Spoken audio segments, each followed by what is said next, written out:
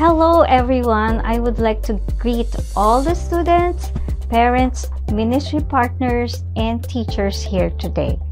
This month of October, we are celebrating the United Nations Month and holding the Araling Panlipunan competition.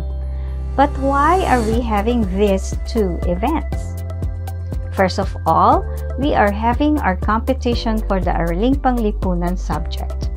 In English, this subject is Social Studies. The term Araling Panlipunan is actually, and I quote, an umbrella term that relates to past events as well as the memory, discovery, collection, organization, presentation, and interpretation of information about these events. This subject is important because it develops one's understanding of the world.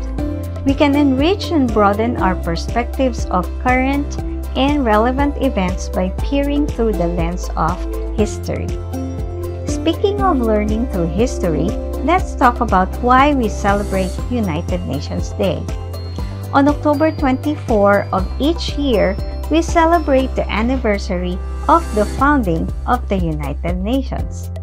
The United Nations was founded in October 24, 1945 when 50 countries met in San Francisco, California, USA, and banded together to form a group of nations who would work together for world peace. The Philippines is actually one of the original member states. Currently, the United Nations has 193 member countries or states. When the member countries of the United Nations in 1971 declared the founding date a public holiday in their respective nations, the Philippines also followed suit.